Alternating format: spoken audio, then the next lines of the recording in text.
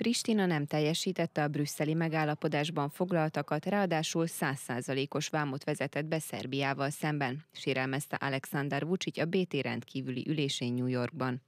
A szerb államfő szerint a döntéshozók ezzel minden kereskedelmi lehetőséget elpusztítottak Szerbia és Koszovó között, és az egész szerb közösséget lehetetlen helyzetbe hozták. Vucic azt is hangsúlyozta, hogy nem csak a szerb nép és Szerbia jövőjéért aggódik, hanem az egész régió jövőjéért, amelyet a koszovói katonaság jogalap nélküli megalapítása veszélyeztet. We did everything we could, refraining ourselves from responding to different types of provocations that were coming from Pristina.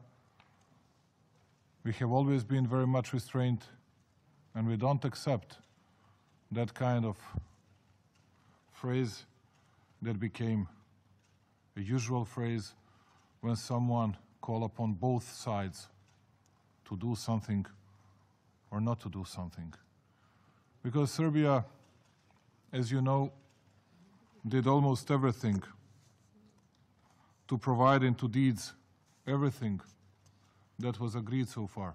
Hashim Tachi is szót kapott az ülésen. Szerinte semmi rendkívüli sem történt Koszovóban a múlt héten. A katonaság megalakításáról szóló döntésben nincs semmi kivetnivaló.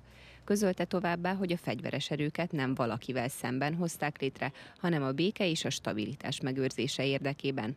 Leszögezte továbbá, hogy a katonaság 10%-a a nemzeti kisebbségek köreiből kerül neki. A comprehensive agreement would open the doors for new leadership whose primary aim will be reforms and development.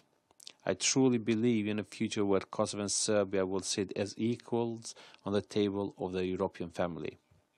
I believe in the future where Kosovo and Serbia soldiers will serve alongside one another in peacekeeping missions around the world. I believe in such a future. Vasilij Nyebenzia, Oroszország ENSZ nagykövete felszólalásában elmondta, a katonaság megalakítása törvénytelen és sérti az Egyesült Nemzetek 1244-es határozatát, mivel csak egy fegyveres rendfenntartó erőt lát elő, ez pedig a KFOR. Az Egyesült Államok ENSZ nagykövete szerint azonban a koszovói fegyveres erők létrehozása összhangban volt az 1244-es határozattal.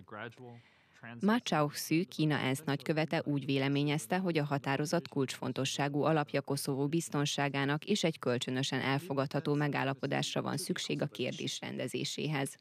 China respects Serbia's sovereignty and territorial integrity, understands Serbia's legitimate concerns over the Kosovo issue, and commends Serbia's effort to find a political solution to this issue. Alexander Vucic szerb államfő a BT ülése után találkozott Antonio Guterres ENSZ főtitkárral, akinek köszönetet mondott, amiért közleményében jelezte aggodalmát a koszovói hadsereg megalakítása kapcsán.